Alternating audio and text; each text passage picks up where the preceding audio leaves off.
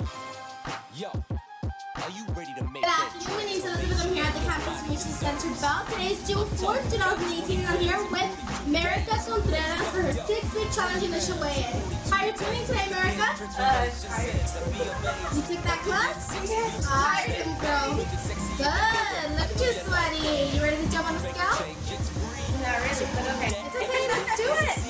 165.1. Yep. Good morning, my name is Elizabeth. I'm here at the Camp Transformation Center Bell. Today is July 16, 2018, and I'm here with Merika Contreras for her six-week challenge final weigh out. How are you feeling today, Merika? Exhausted, very, very exhausted. But I some weight. Awesome. You ready to jump on the scale? No. It's okay. 145.1. Yeah. in42.com?